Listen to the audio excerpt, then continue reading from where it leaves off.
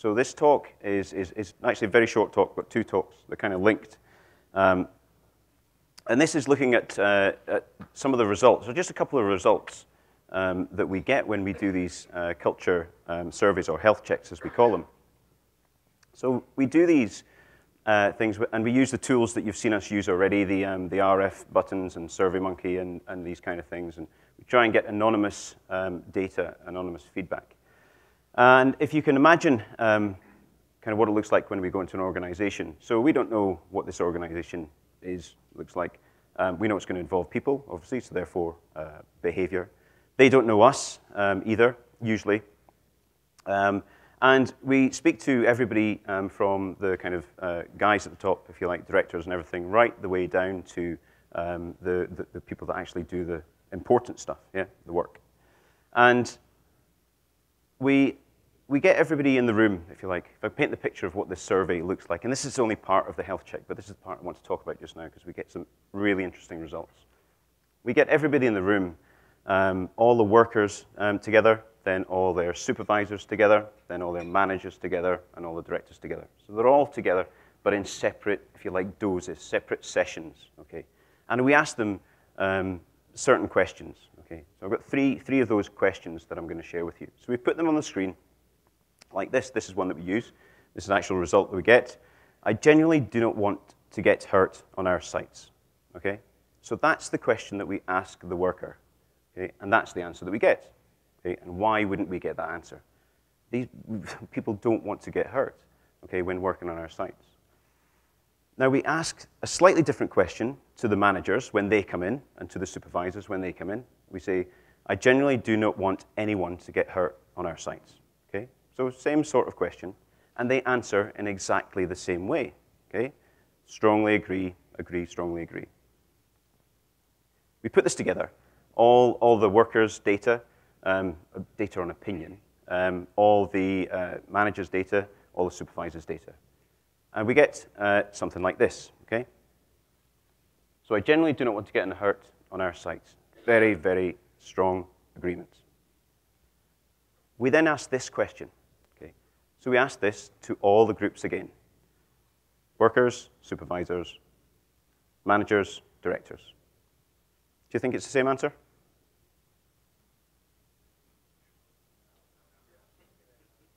It is? Yep. More or less the same answer. I take safety seriously, really seriously. So now we have a consensus from all the groups. I genuinely do not want to get hurt on our sites or anyone to get hurt on our sites. And I take safety seriously, really seriously. So that's a pretty good place to start, isn't it? Yep. Gone to this organization, total agreement, and this is a pattern that we see all the time. We then ask each group this question. My supervisor, manager, takes safety seriously, really seriously. So when we have the people in the room, we say to them, okay, think about your manager, the person you report to, the person that gives you your um, direction every day. Answer this question in the way that you perceive their seriousness for safety. Okay, now, how do you think they respond?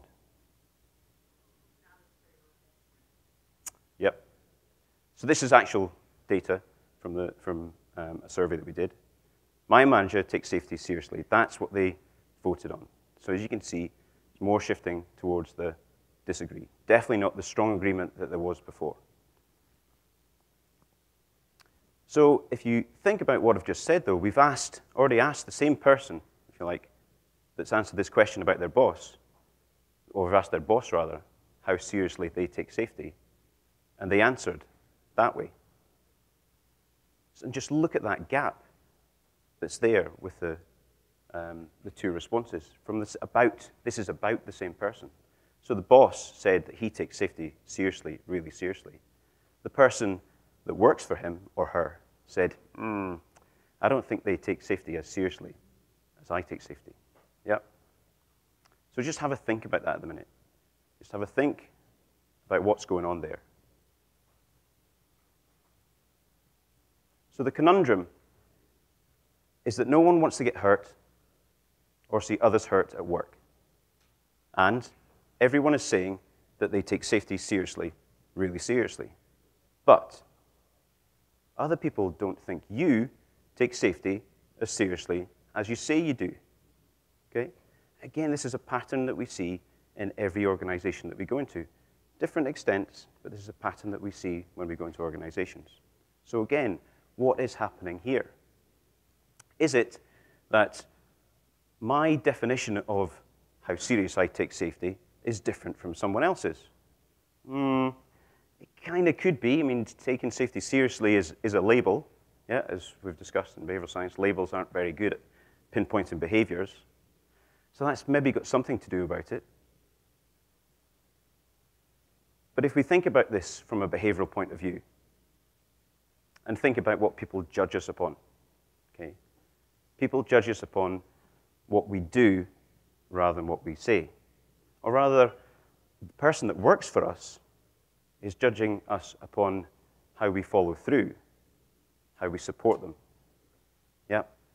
And if their belief, what they see, doesn't match what we believe our actions are, then you get this gap, this big gap in the difference between how seriously I believe I take safety compared to that person that works for me. Yep. This say do gap doesn't match. So if we have this gap between worker and manager, now we've asked this question to every group about the manager. So that manager's manager has answered in exactly the same way about that manager's manager. So it's going all the way up the chain. Join all those gaps together and think, think about how big the gap is between the guy that does the work and corporate. Yeah? Corporate says they take safety seriously, really seriously. And yet the guy at the bottom says, mm, well, my manager doesn't. His manager thinks his manager doesn't. The gap is massive. So, how big are we making this gap? Yeah? What are the kind of things that we are saying and doing that makes and sustains and keeps this gap the size that it is? You hear a lot of companies state this blanket rule. Okay? I'm sure some of the companies in here do this as well. They introduce this into the offices. They introduce it maybe because somebody fell down the stairs once upon a time, but I have seen it where people have never fallen down the stairs. So they're introducing it because they're saying they take safety seriously, really seriously. Yep. That's why they're introducing this blanket policy about holding the handrail. They say you must follow these golden rules, you must follow them or you'll be disciplined. Yeah, because that's how seriously I take safety as a corporation. And you must have a permit before you start work. You must lock out and tag out before you start work because as a corporation, that's how seriously I take safety. Okay? Nice words of commitment. But where's the follow through? So when we do these surveys, they tell us that, well, they don't give us the right information to do the job. There's not enough time to do the job or perceived time to do the job. And I don't have the right tools to do the job. And if you look at the differences between what these are and who says them, then you can start to see the gap between this commitment, these words, and the actual things, that, the ingredients that matter to the person that's most at risk of injury. So, the message in this, this short talk is how do you think others see you from your day to day behaviors, from these words of commitment that you say? Yep, I take safety seriously, really seriously, but you don't give me the right tools to do the job. Do you think it's possible that that could be the result, perhaps, in your organization as well? Is there a gap in organization, and how big is that gap between the words of commitment and the actual follow through?